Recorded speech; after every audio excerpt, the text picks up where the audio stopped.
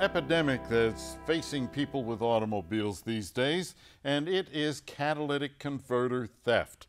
And here to give us some tips, we have Tom Taylor from rockauto.com. Tom, welcome back to Goss's Garage. Thanks for having me, Pat. Absolutely. Now, uh, we're seeing all kinds of uh, vehicles with converter thefts. Yeah, it, it, used to just be pickups and vans that are high off the ground, so it's easy to get under there with a, a big saw and chop off the catalytic converter. But a lot of the new hybrids have more uh, precious metals, the rhodium and platinum and palladium. So the thieves have figured out how to scurry under those really low slung vehicles and, and chop off the catalytic converter. Um, they often won't use this, they'll use a, a, pipe cutter, which is like a piece of sharpened chain that they just spin around and around and, and hack it off. Yeah, does a nice, neat job too. Unfortunately, yes.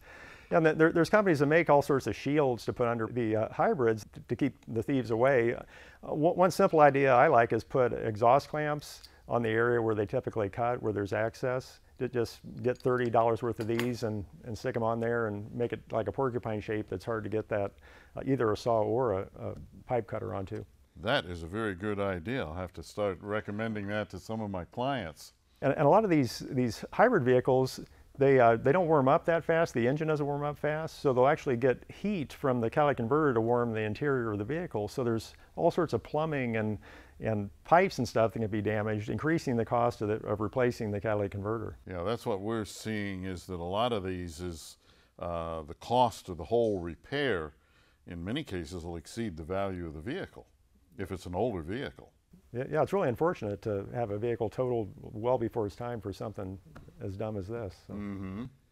Okay, so clamps around the uh, the pipes, and that'll help. Uh, yeah, just thinking about where you park your vehicle. If usually you avoid parking over mud puddles, now you want to park over the mud puddle. So the, the, thief is just, hey, this, I'll move on to the next car, and instead of waiting in the mud puddle. So what we're really doing is just making it more difficult, so they move on to the next one. Right, right. Like, yeah, like locking the doors of your car, locking the doors of your house. You're, you're just making it harder.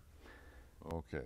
Tom, thank you so much. And if you have a question or a comment, drop me a line right here at MotorWeek.